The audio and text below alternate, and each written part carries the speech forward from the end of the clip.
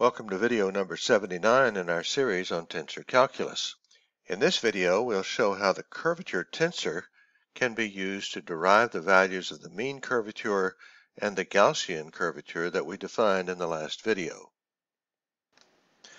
You'll remember from video 71 that our surface covariant basis vector is not metrinilic. Its covariant derivative is not equal to zero, but it's equal to this expression right here. Well, um, let's remind ourselves of the basic definition of our basis vector. Our basis vector S alpha is uh, simply equal to the partial derivative of our position vector r with respect to the corresponding coordinate value S alpha. Well, this in turn is equal to the covariant derivative with respect to alpha of our position vector. Now, this is true because uh, R is an invariant expression. It has no free indexes. You'll remember if we're going to expand out a covariant derivative, we start by taking the partial derivative, and then we add a term with the Christoffel symbol for each of the free indexes. Well, there are no free indexes, so there are no terms with the Christoffel symbol. So this relationship, the equality of the covariant derivative with the partial derivative is true of any object that has no free indexes. It's true of vectors like this, or scalar functions, or any tensor that is fully contracted. All right, well, let's use this expression in place of our basis vector. And what we'll have is the covariant derivative with respect to beta of this expression, the covariant derivative with respect to alpha of the position vector r, and that's equal to what's on the right side here, b alpha beta times our normal vector n hat. Okay, well now let's raise the alpha index in both of these positions. And of course we do that by contracting with the contravariant metric tensor. And since that is metrinilic with respect to the covariant derivative, then it applies across these operations without any problem. So we can raise the alpha index. We'll have the covariant derivative with respect to beta of the contravariant derivative of our position vector r. And on the right side, we have b alpha beta, but alpha is in the upper position this time. All right, and now I want to form a contraction by renaming beta to alpha. So we'll have the covariant derivative with respect to alpha of the contravariant derivative with respect to alpha of our position vector r equaling to b alpha alpha, again a full contraction, times our normal vector n hat. Well, surely you recognize uh, this combination of operators here as just the Laplacian. So this can also be expressed this way. It is the Laplacian operator of our position vector r. Now, this is a very important relationship. It tells us that the Laplacian of our position vector is equal to this expression here, which we define as the curvature normal. Now, what jumps out at us immediately here is that the curvature tensor is related to our position vector by means of a second order derivative. Now, you'll remember a couple of videos ago we established that the first derivative of our position vector tells us something about the direction of the curve gives us a unit vector that's tangent to the curve at every point. But the second derivative gives us information about how fast that uh, direction of that unit vector is changing. In other words, it gives us information about the curvature of our curve. Well, it shouldn't be surprising then that the information about curvature of our surface, which is this uh, curvature tensor right here, is related to our position vector by means of a second order derivative. All right, well, let's do one other thing.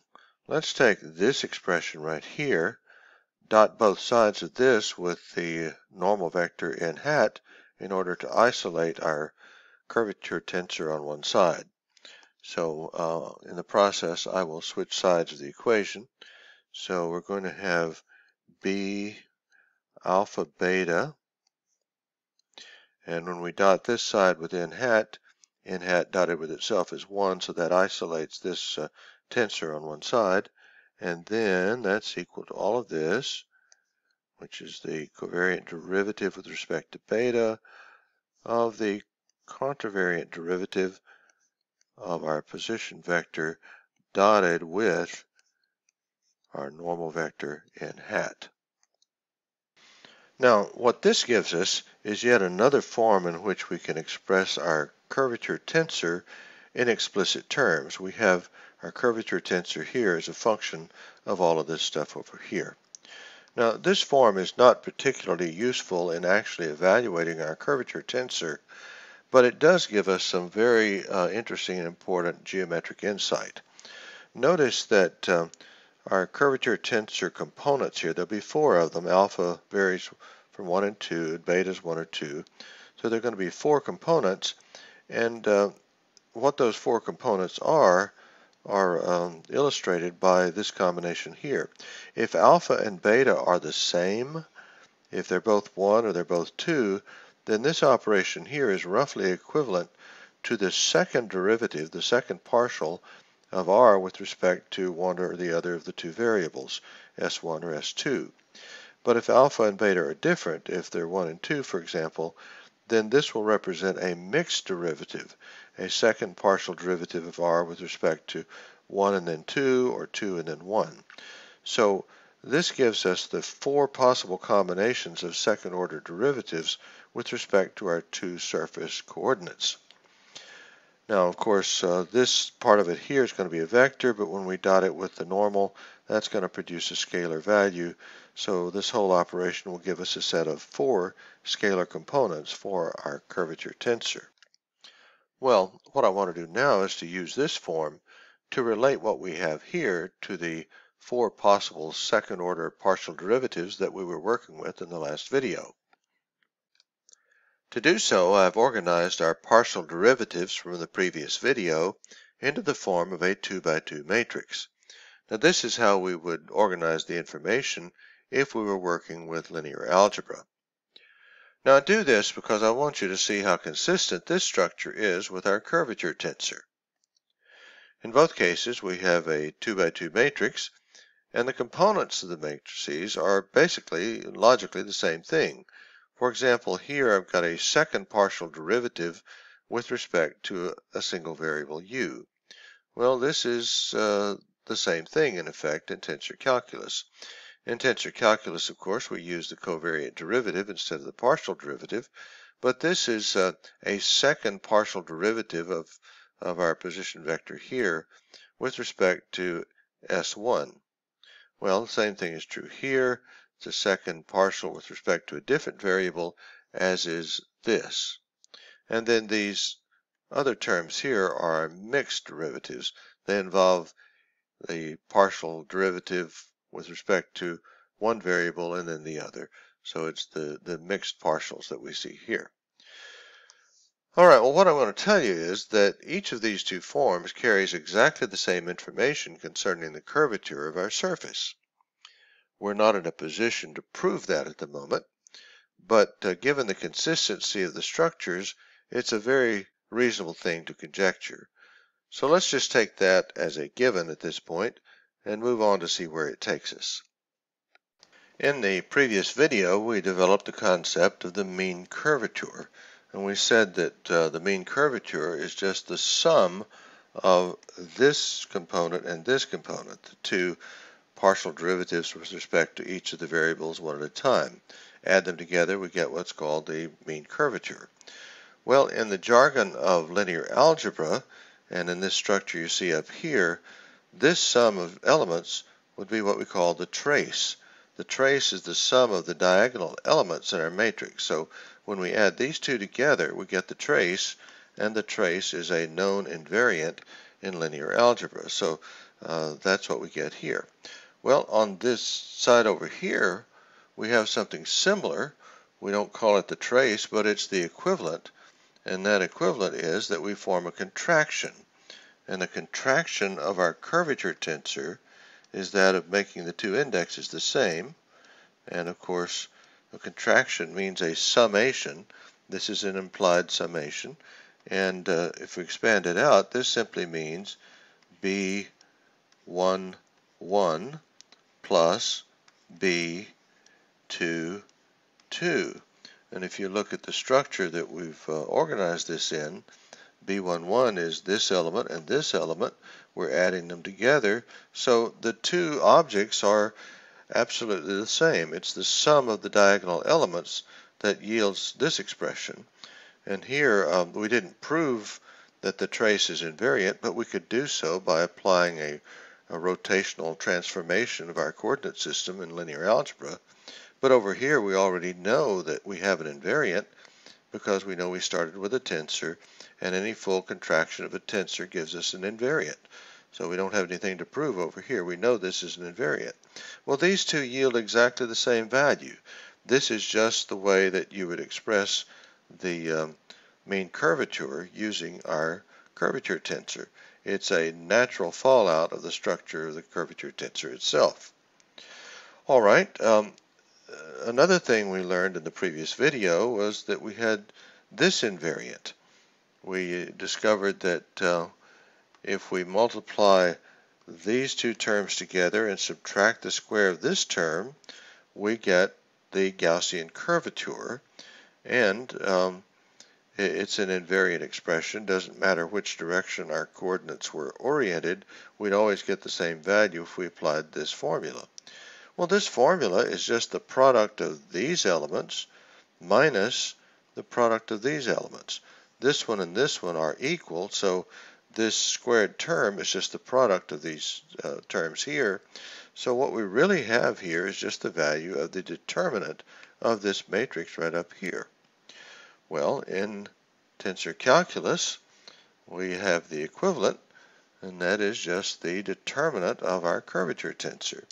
So the determinant of our curvature tensor, which we express this way with two dots in the bars like this, is just the product of these elements, B1, 1 times B2, 2,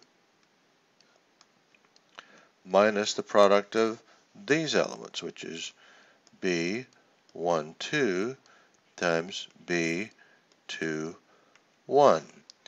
And again, if you go back to, what is it, video number 46, that's where we demonstrated that the determinant of a um, tensor in tensor calculus is an invariant if the indices are, are in the upper and lower position. As long as one index is upper and one is lower, then its determinant will be an invariant scalar value. So again, we don't have to prove that this is invariant. We know this directly from the nature of, of a tensor. The determinant of a tensor with an upper and lower index is an invariant expression. Well, again, this expression yields exactly the same value as this one. So this gives us the, the means of determining the Gaussian curvature directly from our curvature tensor simply by taking its determinant. Well, what about the principal curvatures? Well, we said that in this case, in the previous video, that if these uh, mixed partials are zeros, then our principal curvatures are just these diagonal elements. So uh, we'd say that the trace is nothing but the sum of these two terms, which they would be uh, kappa 1 and kappa 2. And down here, because these mixed partials are zero, this term drops out, and our determinant which is the Gaussian curvature, is just the product of our principal curvatures. All right, well, the same is true over here with our curvature tensor. If we're fortunate enough to see this as a diagonal matrix, has only diagonal elements, and these off-diagonal terms are zero, then this term and this term will be our principal curvatures. And again, we can say that this is equal to kappa 1 plus kappa 2, and down here, because these would be zero, this drops out, and this is the product of kappa 1 times kappa 2. All right, well, what if this is not the case? What if uh, these terms are not zero? Well, in this case, we simply rotate the coordinate axes until they become zero, and then that will give us the principal curvatures directly. Well, in this case, we have to perform the logical equivalent of that, which is an operation known as diagonalizing the matrix. But that's a topic we're going to save for the next video. Right now, what we're going to do is take a break and review what we've covered so far. The first thing we did was to show that the Laplacian of our position vector yields this invariant expression. We know it's invariant because of the full contraction of the indexes. And we call this thing the curvature normal. And what it tells us is that the curvature information about our surface is related to our position vector by means of a second order derivative operation. Well, we then played upon this idea to come up with an explicit expression for the components of our curvature tensor. We showed that these four components are derived simply by forming all the possible combinations of the ways in which we can apply the covariant derivative twice with respect to our position vector. We then showed that our curvature tensor with one upper and one lower index can be used to determine the various invariant curvature properties of our surface. For example, the mean curvature of the surface is simply going to be the full contraction of our uh, curvature tensor. The sum of the diagonal elements of our curvature tensor will yield the mean curvature. That's the equivalent of adding together the two principal curvatures. Well, in a similar fashion, the Gaussian curvature can be derived by simply finding the determinant of our curvature tensor. And uh, that's represented by the letter kappa and is also the equivalent of the product of our two principal curvatures. In the next video, we'll continue on to show how we can use the curvature tensor to derive specific values for the principal curvatures.